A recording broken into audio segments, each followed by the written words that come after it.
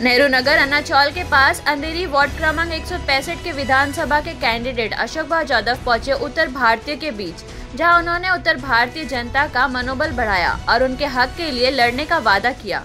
जैसे जैसे इलेक्शन के डेट नज़दीक आ रहे हैं वैसे वैसे विधानसभा में राजनीति गर्मा रही है।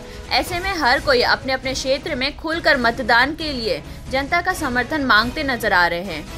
आपको बता दे भाव ने इस क्षेत्र के लोगों के लिए निस्वार्थ भावना से काम किया और न सिर्फ़ उनकी जरूरतों को समझा बल्कि उनकी जरूरतों को पूरा भी किया है।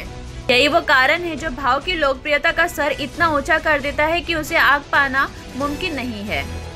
ऐसा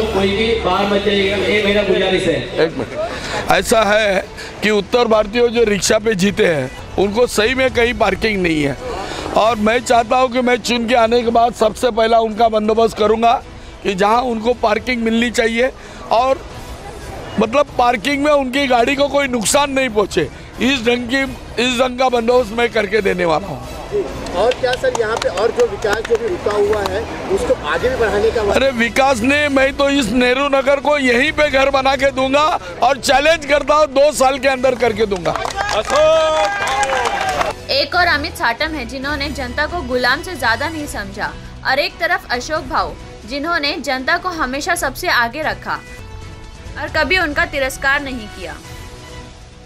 भाव के लिए क्षेत्र के लोगों का प्यार और समर्थन इस बात की गवाही देता है कि क्षेत्र का अगर कोई भला कर सकता है तो वह है भाव और यहाँ के लोग भाव को ही अपना समर्थन देंगे। मैडम जैसे कि आज अशोक भाव यादव का यहाँ पे ज़ाहिर सभा था तो उन्होंने बहुत सारी बातें बताई पुरानी चीज़ें भी याद दिला दी कि आपके लिए उन्होंने क्या क्या किया था।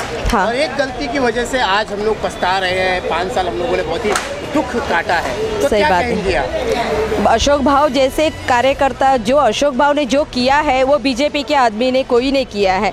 और जब भी हम लोग अशोक भाव हारने के बाद भी पाँच साल तक अशोक भाव ने अपना ऑफ़िस खोल के रखा है। हमारे आम कार्यकर्ता लोगों को हमेशा हेल्प करते हैं और किसी को भी, बीजेपी हो या सेना हो या कोई भी पार्टी हो, उसके लिए अशोक भाव एनी टाइम खड़े रहते हैं। ऐसा नहीं बोलते कि हमारा पक्ष का नहीं है, या हमारे पार्टी से नहीं है, ऐसा उनका इंगोर नहीं होता है। और अशोक भाव जैसे कैंडिडेट को चुन के लाना बहुत बड़ी बात है। बीजेपी की, बीजेपी जो जीत के आई है, उनसे जब मिडिल क्लास वाले जाते हैं, स्लम एरिया वाले जाते हैं कुछ भी पूछने के लिए तो उनका कहना ये है कि मुझे स्लम एरिया से मुझे वोट नहीं मिला है। स्लम एरिया से मेरा कोई लेना देना नहीं। मुझे बिल्डिंग से वोट मिला है, मैं बिल्डिंग का काम करूँगा, बिल्डिंग के लोगों के साथ रहूँगा। इसके मतलब स्लम एरिया के रहने वाले पब्लिक पब्लिक नहीं है। उनका वोट उनके लिए इम्पोर्टेंस नहीं है। तो आप भी आप भी यहाँ पे गृहिणी है महिला है। कुछ महिलाओं की भी समस्या होती है जैसे कि यहाँ पर आ, कि नल, न, जो गटर है वो भर जाते हैं तो आप लोगों को तकलीफ़ होती है। बच्चों की कुछ चीज़ें यहाँ पे जैसे बीमारियाँ हो जाती है। तो ये सब के महिलाओं के लिए उन्होंने अशोक भाव ने जो जो सुविधाएँ की थी बालवाड़ी वगैरह तो क्या वो कंटिन्यू पाँच साल चले आपको लगता है? हाँ चले। हमारा पक्ष नहीं आया तो भी, जो कंटिन्यू चला है, जो भी बच्चों के लिए या बड़ों के लिए या महिलाओं लोग के लिए, जो भी ज़रूरत पड़ती है, जो भी पानी का बाथरूम का गटर का, जो भी प्रॉब्लम्स होता है तो हम लोग उनके पास लेटर राइटिंग में देते हैं वो अपने हिसाब से काम करते हैं। हम लोग बीजेपी सरकार के पास नहीं जाते। हमारा जो थे कांग्रेस के हम लोग उनके पास ही हारने के बाद भी हम उनसे हेल्प लेते हैं। बीजेपी के जो अभी के हैं वो कुछ उनकी जो गलत है जो शब्द भी अब शब्द इस्तेमाल कर हाँ सुनने में आया होगा देखने में आया होगा। हाँ। क्या लगता है आपको इस तरह की भाषा इस्तेमाल करनी चाहिए? नहीं करनी चाहिए इस तरह की भाषा इस्तेमाल नहीं करनी चाहिए। वो एक बड़े नेता के तौर पे है तो उनको सबको लेके चलना चाहिए मिडिल क्लास को लेके चलना चाहिए बिल्डिंग वालों को लेके चलना चाहिए। सबको पार्टी वाले को पार्टी का अगेंस्ट रहने वाले को सबको लेकर चलना चाहिए। वो नेता का बराबरी होता है।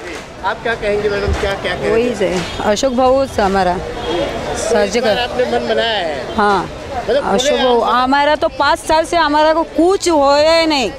तो अशोक भाऊ हमारा ये वो साजिगाई और कुछ नहीं हमारा। तो आप कितने बजे सुबह उठ के जाएँगे वोटिंग करने के लिए? तो कितना बजे का छः बजे का पाँच बजे बोलेगा तरीबन जाएगा हम लोग।